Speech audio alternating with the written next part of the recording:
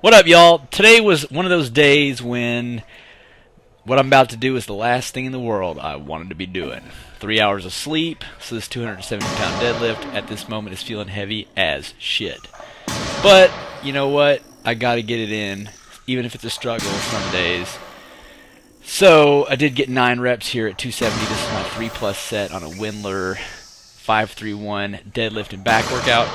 Um, note, uh, I did go pretty hard, even though I'm complaining about being tired and all that kind of stuff. That tends to be something I do. Uh, I use weights as therapy, and sometimes I can be a little bit stronger when I'm disadvantaged. Uh, probably not on a max effort, but definitely when it comes to getting reps, I'm more likely to go for extra reps when I feel bad than when I feel good. Um, as far as for y'all, you know, if that's not your personality, I'd go the other way around because uh, maybe not the best idea to push yourself real hard when you feel like shit. You know, honestly, maybe it's better to go in there and listen to your nerves, kind of like take the weight down a couple notches, and tone up. But no, not me. I can't roll that way. I'm not capable of it. So I went in there and went a little too hard here on these deadlifts, uh, considering the circumstances.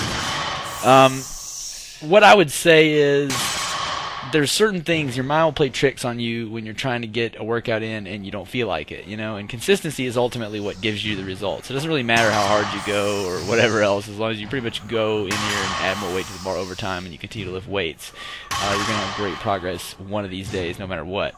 Um, the thing is, is that some people will get so focused on the perfect that they don't even wind up going. Like I can't do it as long as I wanted to, so I can't get every exercise I want, so I shouldn't go, or you know whatever else.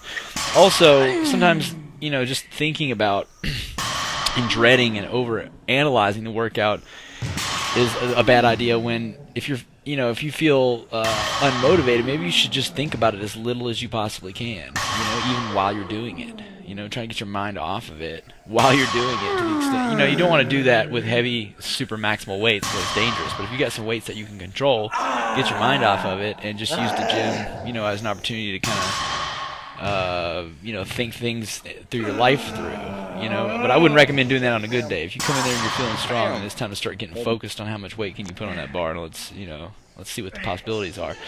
Another thing that I recommend is when you're, you know, unmotivated and tired, and other other factors are interfering, uh, don't allow yourself to think about any future work sets during your current. Uh, work. Like if you're working on this, like say I'm doing my rows right now, these little isolating rows. Uh, I'm not allowed to be thinking right now about these upcoming isolateral rows that I'm fixing to be doing right now. Because if I was, I would, you know, I mean, I can't allow my nerves to sit there and analyze how much, you know, total weight they're going to do the whole workout. It's going to make me weaker because my mind is going to start trying to lower the weights to, you know, reach this future volume. And ultimately, I think it's just easier to focus on what you have to do right now and then just realize that here in a minute the workout will be over.